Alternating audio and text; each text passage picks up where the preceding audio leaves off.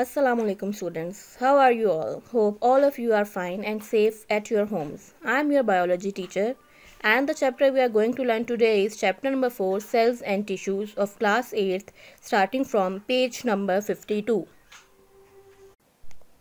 Dear students, open up your biology book page number 52 and all of you should have pencils with you to, to note down the important points. First of all, I will give a brief review of the terms cells and tissues which you have already done in your previous classes. Now what is a cell? A cell is the smallest structural and functional unit of a living organism often called as building blocks of life. There are various examples of cells like nerve cell, blood cell, epithelial cell and etc. Now what is a tissue? A tissue is a group of cells that have similar structure and they act together to perform a specific function. Examples of tissue include nervous tissue, connective tissue, muscle tissue and so on.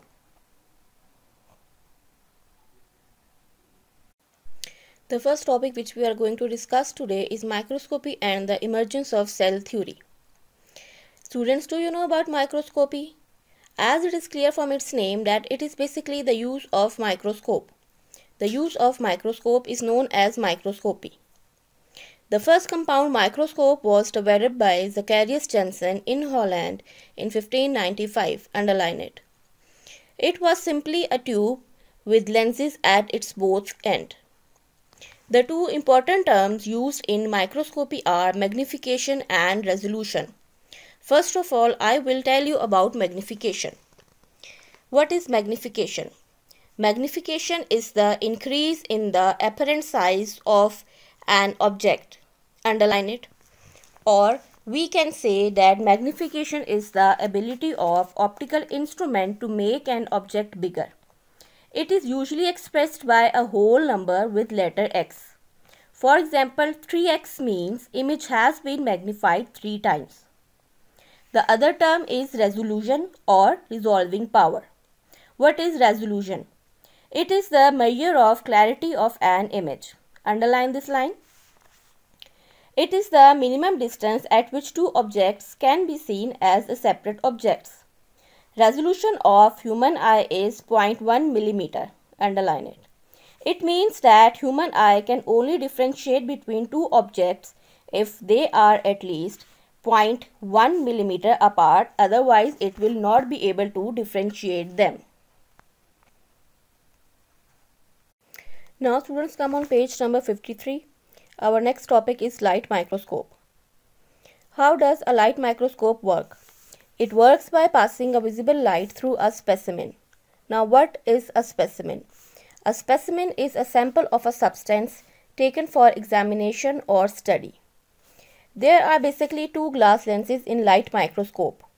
One lens produces an enlarged image and the second lens magnifies the image and the image is then projected on viewer's eye or on the photographic film. At the end of the paragraph, you will come across a new term that is micrograph. What is a micrograph? A photograph taken through a microscope is called a micrograph. Underline it. So students, if we will take a photo through a microscope, then it will be called a micrograph. Here you can look at the diagram. These are the diagram of light microscope from earliest to the latest. If we talk about the magnification of light microscope, its magnification is up to 15,000 x. 15,000 x means that it can magnify object up to 1500 times. And what is the resolution of light microscope? Light microscope resolution is 0.2 micrometer. It's mean that it can differentiate between two points which are at least 0.2 micrometer apart. Here students you can see the magnified image of amoeba on the left and unicellular algae on the right taken through the light microscope. Now students open page number 54. Our next topic is electron microscope as it is understood from its name that in electron microscope electrons are used to produce an image. It is the most advanced form of microscope with much higher resolving power and magnification. In this microscope, object and lens are placed in vacuum chamber and a beam of electron is passed through an object. Electrons pass through or are reflected from the object to make the image. If we talk about the magnification of electron microscope, then it can magnify object about 250,000 times. And the resolution of electron microscope is 0.2 nanometer. It means that it can differentiate between two points which are at least 0.2 nanometer apart.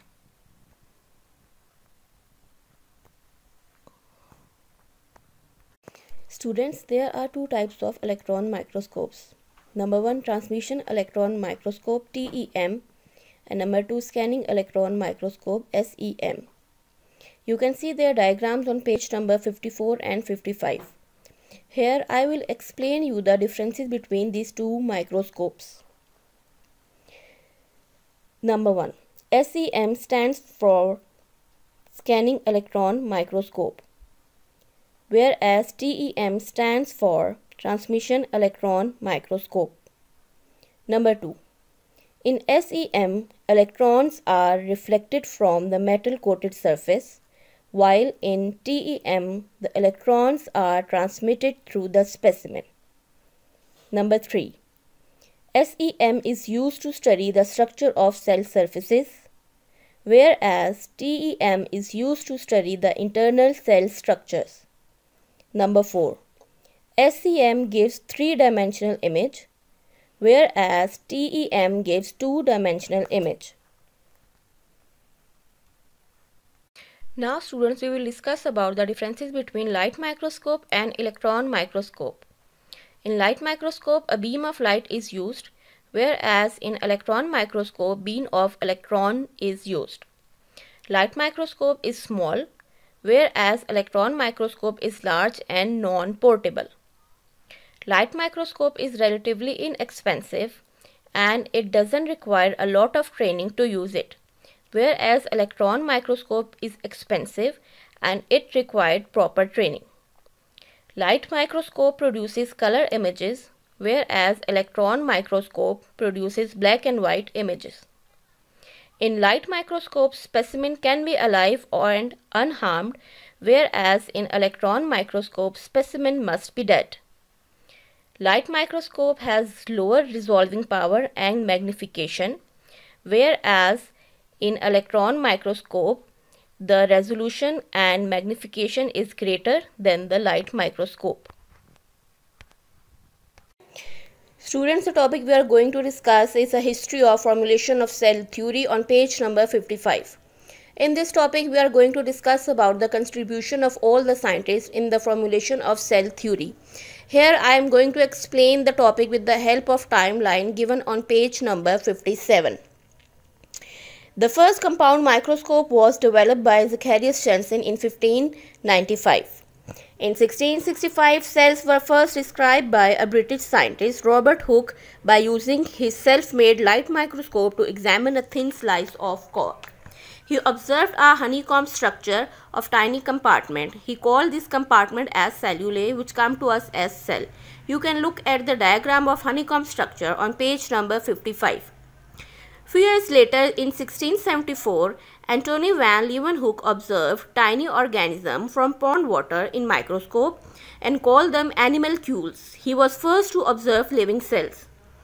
After that, in 1809, Jean-Baptiste de Lamarck proposed that nobody can have life if its parts are not cellular tissues or not formed by cellular tissues. Then in 1831, Robert Brown was a botanist and he first discovered nucleus in the cell. Then in 1838, a botanist, Matthias Schleiden, stated that all plants are aggregates of individual cells which are fully independent and work on their own. Then, in 1839, a zoologist, Theodore Schwann, stated that all animal tissues are also composed of individual cells. After that, in 1855, a physician, Rudolf Virchow, proposed that all living things arise from pre-existing cells which was proved by Louis Pasteur in 1862. After all the work done by the different scientists, the cell theory finally gets its shape and these are the postulates of cell theory. Number 1. All living things are composed of cells. Number 2. Cells are the smallest living things, the basic unit of organization of all living organisms. It means that cells are the basic units of structure and function in living things. Number 3. Cells arise only by divisions in previously existing cells. It means that new cells are produced from existing cells. Students, I hope you are understanding all the topics which I am explaining. Now let's move toward our next topic that is subcellular or acellular particles on page number 56. Students, virus, prions and viroids does not satisfy the first principle of cell theory. What was the first principle of cell theory? The first principle of cell theory stated that all the living organisms are composed of one or more cells. Virus, prions and viroids, they are basically not composed of cells. They are termed as acellular or subcellular particles. They show few characteristics of living things like an increase in number and they can transmit characteristics to next generation but still they are not classified in any five kingdom of living organisms. Students our next topic is cellular structures and function on page number 57. As all of you know, a cell is made by assemblage of different organelles. But there are some structures in cell that are not organelles but still they are very important for the cell. They are cell wall, cell membrane, cytoplasm and cytoskeleton. First of all, I am going to explain you cell wall. Now what is a cell wall? Cell wall is a non-living and strong component of cell located outside plasma membrane in plants, fungi and in many protists. And its function is to give shape, strength, protection and support to protoplasm. Now what is a protoplasm? Basically protoplasm is living matter inside a cell. Living matter inside a cell is called protoplasm. Students here is this diagram of structure of cell wall in a mature plant cell and in this diagram with the help of this diagram i'm going to explain you the different part of cell wall. First of all i will explain you about primary cell wall. The first or the outer layer of the plant cell wall is called a primary cell wall and it is mostly contains cellulose.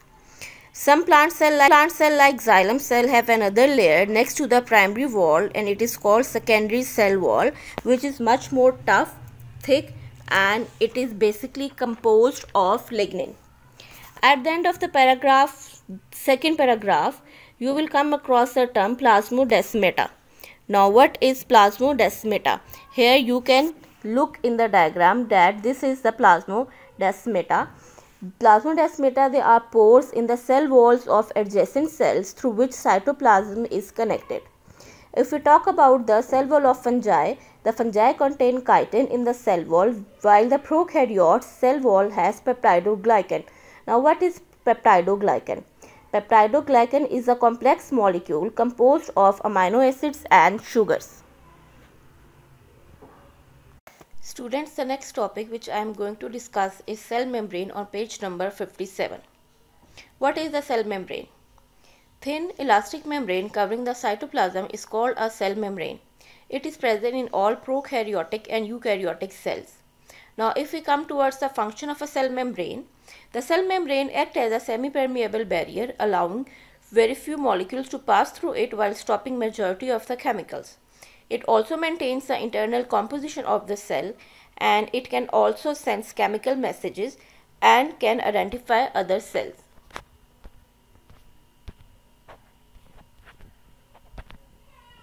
Now student let's come towards the composition of a cell membrane. The composition of a cell membrane can be best explained by a fluid mosaic model. According to this model, there is a lipid bilayer. What is meant by bilayer? Bilayer means two layer. So there are two layers of lipid in which protein molecules are present, which you can clearly see in the diagram.